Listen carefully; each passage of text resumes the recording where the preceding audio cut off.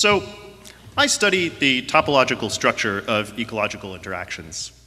Basically, I look at the mathematical properties of networks that look like this. These are wasps that have a symbiotic relationship with fig trees. What I do is kind of like social network theory, if like every organism on Earth joined Facebook. When I started my research, I needed to find some system, some eco, some group of interacting organisms to study. So I'll admit, this talk isn't exactly, exactly ecology, but rather about how to identify an ecological system that will yield lots of juicy research papers. This is one of the things that happens when you go to graduate school. You end up optimizing the optimizations of the optimizations. So when I started graduate school, I thought it would be really cool to study hyperthermophilic archaea. These organisms live at near boiling water, live in near boiling water in volcanic vents. So I went to the Kamchatkan Peninsula in Siberia, which you may know from Risk. Um, it looks it looks pretty awesome, right? Um, but the truth is, this photograph was uh, totally staged. Actually, um, here's the reality. Um, I spent my days standing in a lake of boiling water, um, slowly scalding my hands and feet and moving very, very so slowly and carefully so that I wouldn't just fall in and become soup. Um, and my reward was to spend hours sitting in the mud afterwards, getting eaten alive by billions of mosquitoes while I filtered the samples. And remember, this is Russia.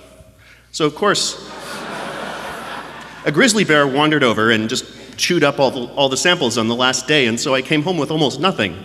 And this sounds like it's a joke, but this, this actually happened. um, so the conclusion, don't, don't do that. Um, it's really, it's, no, just don't. So I decided to look at ecosystems that are a little closer to home. So I figured, how about halophilic archaea? These guys live in hypersalty lakes, like this one in the southern part of the San Francisco Bay. And, um, you know, it seemed like a good idea. Uh, so I went down there, collected some samples, and um, I discovered there's just one problem. Halophiles make huge quantities of cadaverine and putrescine, two of the most horrible smelling chemicals on Earth. It's basically a giant lake of vomit and death. Also, it takes longer to drive to the South Bay than Siberia. So, so I decided to scrap this idea too. So I was getting, you know, like my advisor's like, why haven't you graduated yet? Like where, like, so, um, so I decided to be a little more careful about choosing my next study system.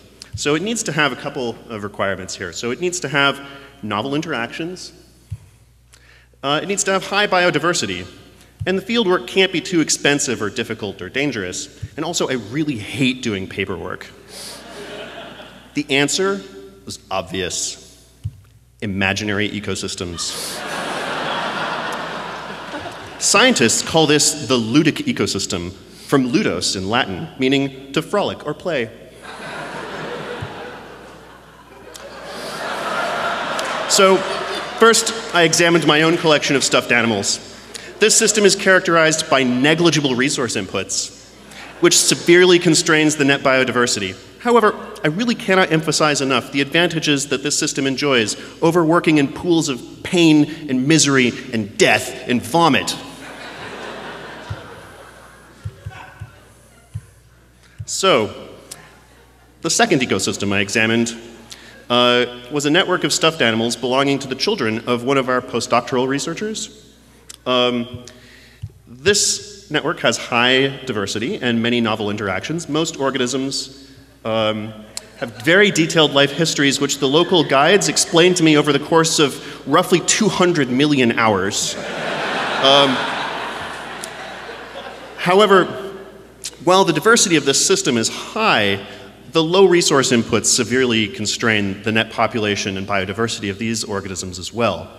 And this makes the statistics a bit dicey. So, I finally, just, just, just a few weeks ago before this talk, I finally received access permits to, to study a ludic ecosystem that ramifies throughout the residence of a university faculty member.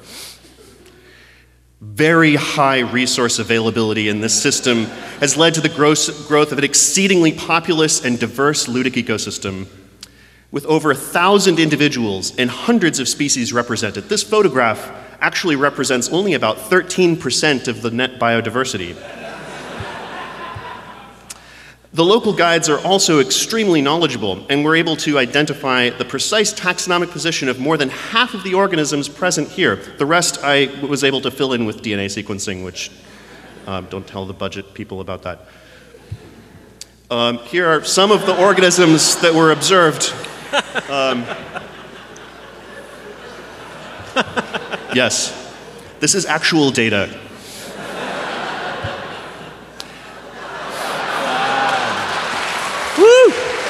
So,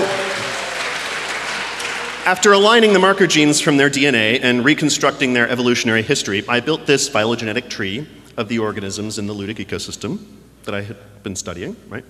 And then, you know, there's one more piece of information that's important to understand when you're actually looking at ecology, and that's the interactions. So I asked them, the local guides, about these interactions and took very careful field notes.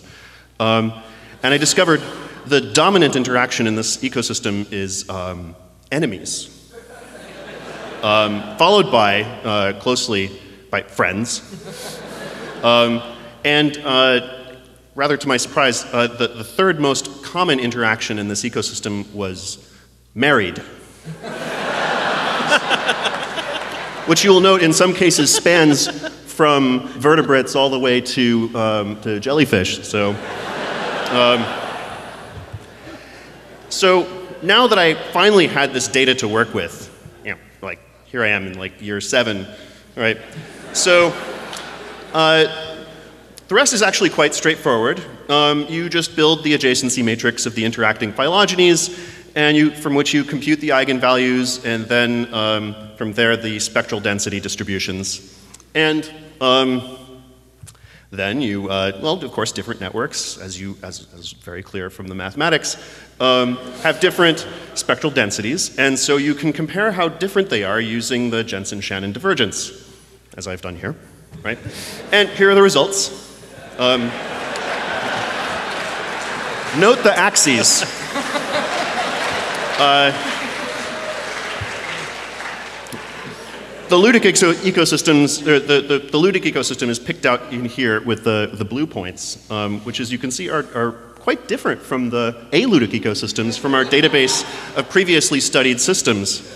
Um, and uh, this last bit in green is uh, some control thing that is entirely meaningless, but reviewer three insisted that we put it in there. Um, so here it is. And as you can see, ludic ecosystems are mostly quite different from, um, from ludic ecosystem, or from aludic ecosystems. And so I wondered to myself, what, what's missing? Um, so what makes these ecosystems so different?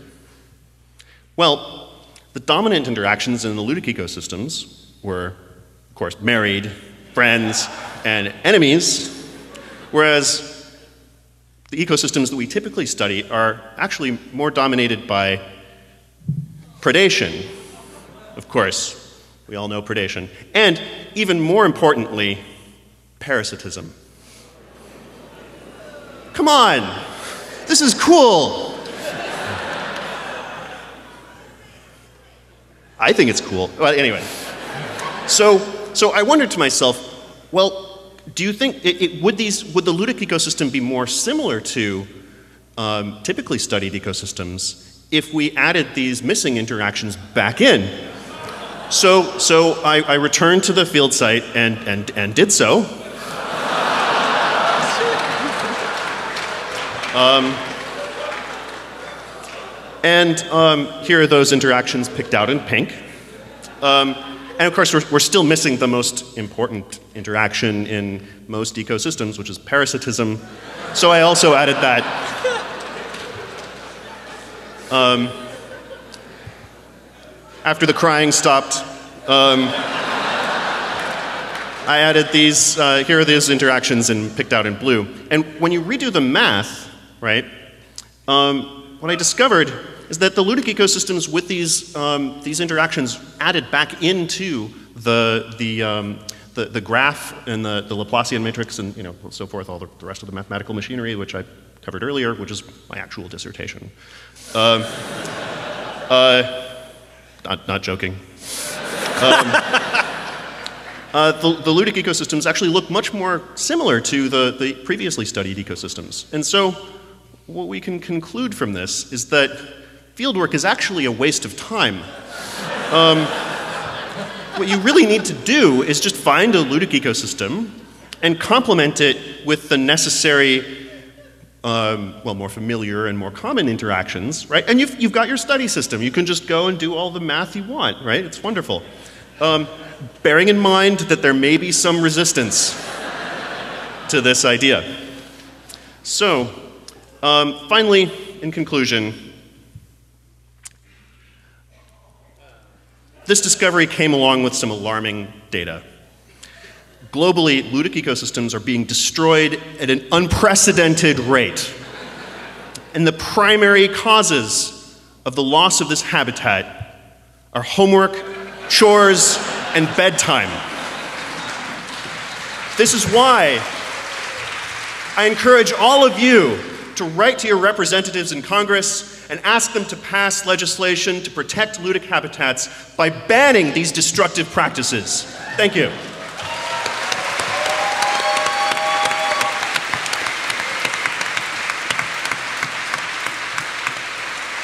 Questions from the judges? Um, I think we all really appreciated both the x and the y axis. Um, I Oh, would have absolutely. also liked a z axis. Why didn't you include one? Oh, um, well, the, the, it, it- it probably has something to do with the, the graphics processor on this computer. Um, I don't know. Uh, th- th- there, there's some software for that, but it's not installed. I'm sorry. That's understandable. Um,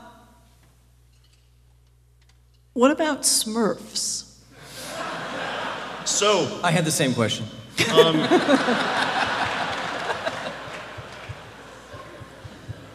funny you should mention that. No way. But this was actually one of the more challenging things that I had to deal with. Um, uh, not Smurfs exactly, but there are these things called Pokemon, um, which I was not able to find any hits in the DNA database for. Um, and um, I, I don't know, that, that, that, that's a problem. That there's a, it's a missing piece of the data. Uh, maybe future work can, can, uh, can follow this up. So this is obviously a very complex ecosystem, engaging other ecosystems like the smelly sibling and others. Uh, so I was wondering though, how what can we learn from simpler ecosystems like the collectors of beanie babies that can be applied forward to the ludic system? Oh, uh, I, that's a perfect that's a perfect example of a ludic ecosystem. The the only necessary thing that you would you would need to study, uh, you know, beanie babies or something like that would be um the right PCR primers.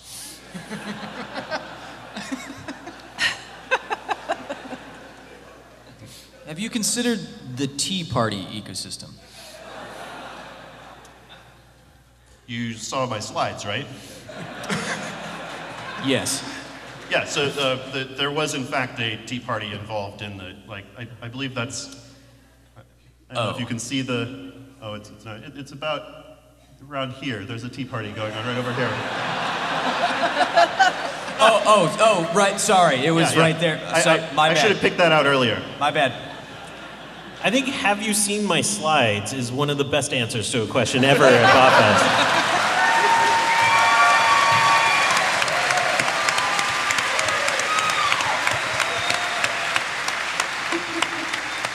Another big hand for Russell Neches.